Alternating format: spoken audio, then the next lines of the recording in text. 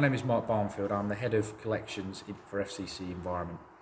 Following the South Hams Overview and Scrutiny Committee meeting on the 10th of June, FCC Environment would like to confirm that we've provided a full and frank account of the current operational status. We also outlined potential resolutions with regards to the new recycling service in South Hams. The meeting was recorded and this recording is a permanent public record of our current position.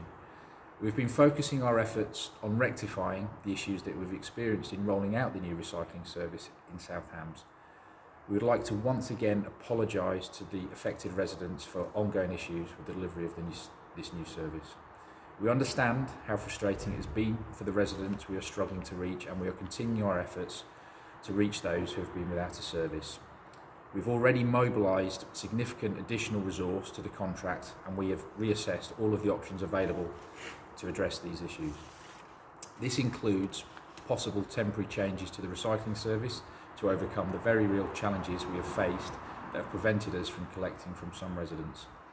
These options are currently with the Council to review, but we are still experiencing very high volumes of materials, which is a positive. Residents clearly want to recycle and are keen to use the new system.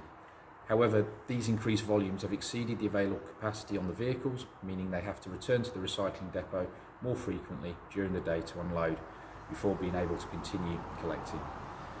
We'd like to reiterate that the vehicles are purpose-built, state-of-the-art recycling vehicles and they are sized to maximise the collection of recycling across the district.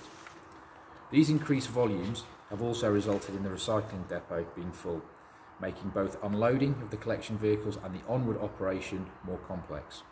We are working hard and exploring all options in order to find solutions for dealing with these increased volumes and we will provide further service updates in due course. In the meantime, we do ask residents to continue to follow the council advice to place their recycling bins and boxes in the right places for collection.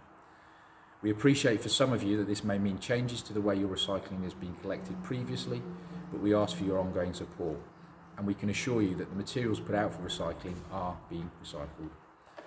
We'd like to thank those of you who have been affected for your continued patience while we work to resolve these current difficulties.